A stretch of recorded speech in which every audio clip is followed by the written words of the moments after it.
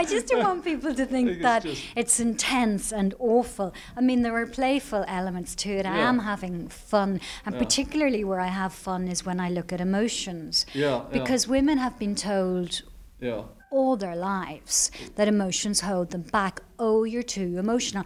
I did a radio program just last week Yeah. where a government minister was sitting there saying, Well, you're just taking an emotional response to this. and I said, Excuse me, we're talking about Syrian asylum seekers being Yeah. turned away. I think an emotional response is exactly the correct That's- that's response, really and then put some rigor around it.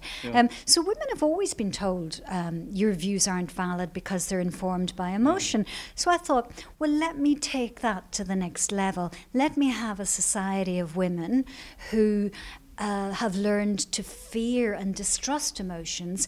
They, their scientists categorize them um, and then they're rationed because they're regarded as dangerous, uh, and uh, and so I call them mows, and and you have to save up your coupons or whatever space age coupons Well, I well, had that was to get a, a, mo. a fantastic invention. Uh, this mow, where you have the, the, the Mo Express, and uh, you take it, you take out and you take out the, the, the Mo, and it's, it's there for a certain amount of time before it's disappearing. I Yes, think, you get it in your system. Yeah, yeah, yeah. So and you get you get hybrid mo's if you need like yeah. constructiveness. I think there was a C and a C, Yeah. which was constructiveness plus courage for a difficult meeting, things right, like that. Okay, yeah, yeah. yeah. Um, and then they don't really see the purpose of nostalgia anymore.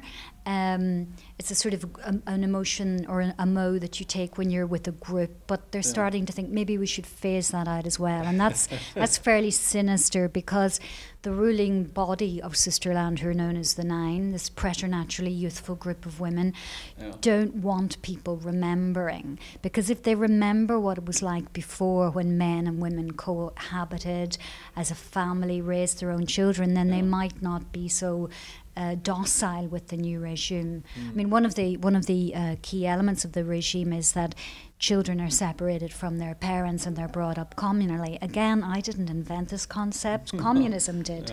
Yeah. Um, but because uh, uh, little girl babies are taken away at a year old, uh, raised communally, as I said, it's all the better to indoctrinate them. Meanwhile, boy babies, because the male species has been relegated to Yeah, a, a subspecies, subspe- yeah, subspecies, yeah, Um, yeah. They're they're taken away too. They're not uh, mothers aren't even allowed to hold them in case they bond. Mm. Um, yeah.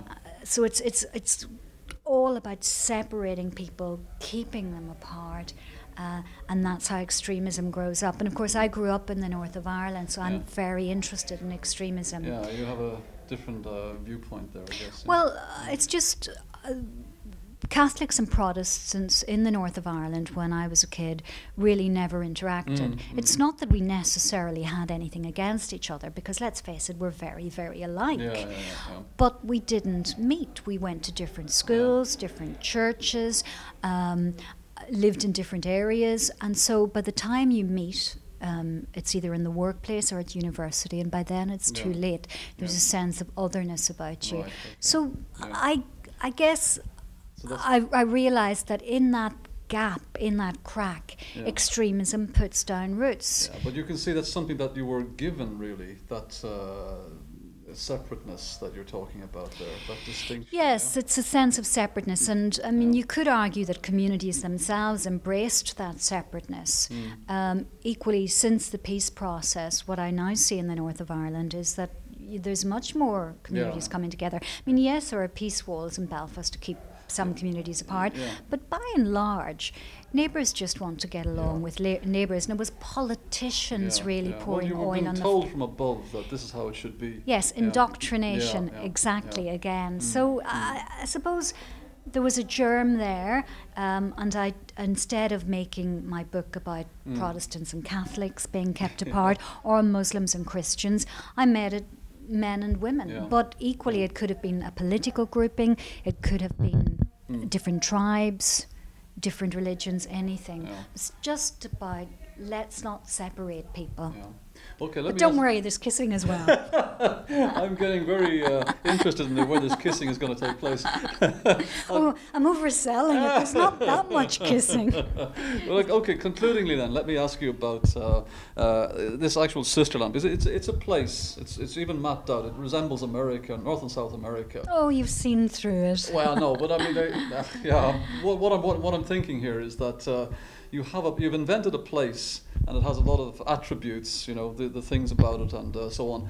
Uh, is there a possibility that you have a you, you have created a landscape that can be used in another context? If you can uh, maybe think of a series of uh, uh, books that is based on the same uh, theme or on Sisterland, for example. Well, I have been asked about a sequel, Mm. um, and I'm toying with it. Um, I've never done a sequel before.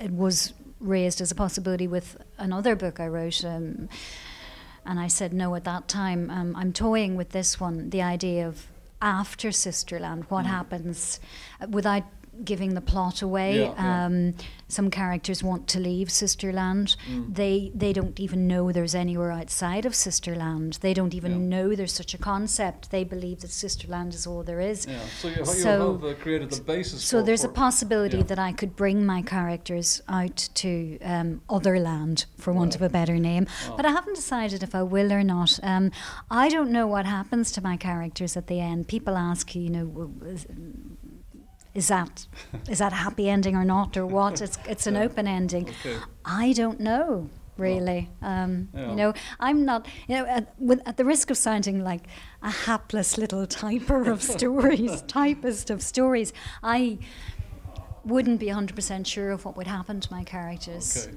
Well, we'll just see what the future brings then. Thank you. Martina Devlin, thanks for talking to us and best of luck with your new novel. Pleasure. Thank thanks, you. Thanks.